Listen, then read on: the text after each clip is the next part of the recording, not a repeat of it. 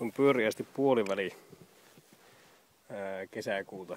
En muista tarkkaa päivämäärää. Katiskosta ja sitten vilikulla heittämällä. Siinä on yksi hauki, 27 ahaventa ja kaksi särkeä. Ja ahavenista on kuusi semmoista oikein komiaa. Varmaan lähde kolmassa tarmasta. Pyyntipaikkanahan on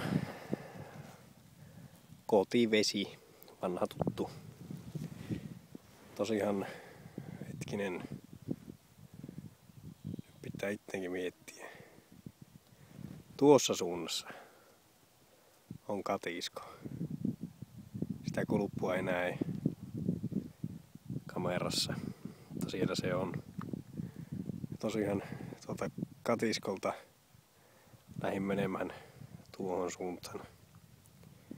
Heittelin samalla.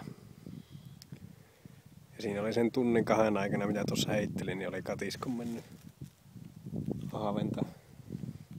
Toista kymmentä en nyt laskenut paljonko siinä oli. Mutta kuitenkin merkittävissä määrin. Ja tuo hauki tuli tosiaan, alun perin katisko oli tuolla, kun tulin. Siirsin sen tuonne tosiaan se hauki oli siellä ja sinne muutama haave. Pieniä, mutta olipahan kuitenkin. Jep, nyt sitten tuli sillä lopulla kotia perkkaamaan.